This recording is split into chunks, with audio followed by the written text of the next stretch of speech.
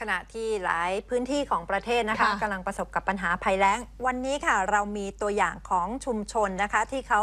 ยังมีน้ำใช้อุดมสมบูรณ์นะคะ ก็คือพื้นที่ของชุมชนบ้านหนองโน จังหวัดสระบุรีค่ะ ชาวบ้านที่นั่นนะคะเขาน้อมนำเอาทฤษฎีใหม่ของพระบาทสมเด็จพระเจ้าอยู่หัวนะคะ มาปรับใช้ เป็นการทำหลุมขนมครกนะคะ ในการบริหารจัดการน้ำในพื้นที่รายละเอียดเป็นอย่างไรติดตามได้จากรายงานพิเศษค่ะ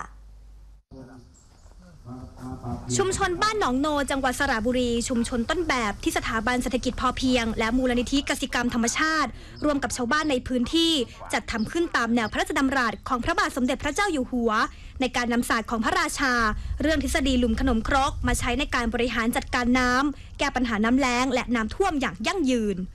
ดรวิวัฒน์ศัลยกรรมทร ประธานสถาบันเศรษฐกิจพอเพียง และมูลนิธิกสิกรรมธรรมชาติ อธิบายถึงหลักทฤษฎีหลุมขนมครกว่าคือการจัดพื้นที่สำหรับกักเก็บน้ำซึ่งมีลักษณะคล้ายถาดขนมครก ที่มีเบ้าหรือหลุมเล็ก ๆ กระจายไปทั่วทั้งถาดขนม ประกอบด้วยพื้นที่ในการกักเก็บน้ำหลากหลายรูปแบบ ทั้งโคกหนองและนาฝนตกลงมาทุกบ้านก็เก็บไว้ในหลุมหมด มันก็ไม่ไหลไปรวมที่ถาด มันก็ไม่ไปท่วมในหน้าฝน หน้าละน้ำหลากพอฤดูแล้งไอ้ทุกหลุมน่ะมันก็มีน้ำเก็บอยู่แล้ว ก็ไม่แล้งโคกหนองนาโมเดลเป็นอีกหนึ่งคำจำกัดความที่สามารถอธิบายทฤษฎีหลุมขนมครกให้เข้าใจง่ายขึ้น ซึ่งในพื้นที่หนึ่งแปลง จะสามารถขุดดินมาถมเป็นโคก เพื่อสร้างที่อยู่อาศัย ปลูกผักและเลี้ยงสัตว์ ส่วนหนองก็ขุดไว้เพื่อกักเก็บน้ำไว้ใช้ยามหน้าแล้ง หรือเปลี่ยนเป็นที่รองรับน้ำยามน้ำท่วม น้ำหลาก สุดท้ายคือนาที่มีการยกหัวคันนาให้กว้างอย่างน้อย 1 เมตร เพื่อเพิ่มพื้นที่กักเก็บน้ำซึ่งทั้งหมดนี้เป็นการจัดพื้นที่ให้เหมาะสมกับพื้นที่การเกษตร และเป็นวิธีการจัดการน้ำแบบง่าย ๆ ที่สามารถเก็บน้ำได้จริงบุญล้อมเต้าแก้วหนึ่งในเกษตรกรชุมชนบ้านหนองโน ที่ทุกปีต้องประสบกับสภาวะขาดแคลนน้ำในการเกษตร จนกระทั่งเขาได้น้อมนำเกษตรทฤษฎีใหม่มาใช้ ร่วมกับการทำหลุมขนมครกในพื้นที่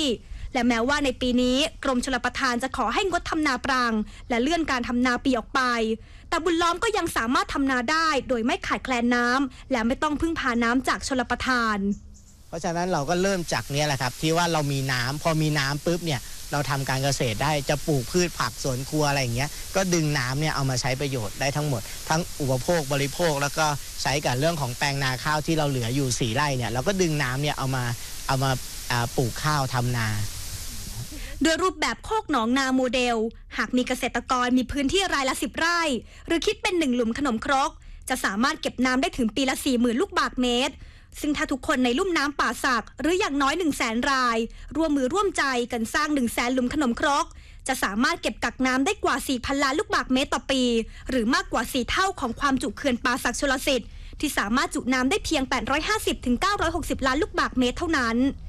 ถ้าจะไปสร้างเขื่อนเพิ่ม โอ้โห ตอนนี้มันจะไปหาเงินที่ไหน มันยาก แล้วไปสร้างก็ต้องไปทะเลาะบ่อแวงเรื่องที่เรื่องอะไรคนไม่เห็นด้วยเยอะ มันก็สร้างยาก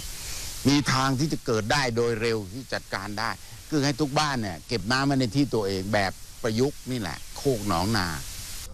ทฤษฎีหลุมขนมครกจึงเป็นอีกหนึ่งแนวคิด ที่เกษตรกรจะสามารถนำมาใช้ในการกักเก็บน้ำให้เพียงพอกับการเกษตร โดยที่ไม่ต้องไปยึดติดกับภาครัฐ หรือรอน้ำจากเขื่อน ซึ่งทั้งหมดนี้ก็คือความมั่นคงเรื่องน้ำความมั่นคงทางอาหารและการผลิต ซึ่งท้ายที่สุดแล้ว คือความมั่นคงในทุกมิติ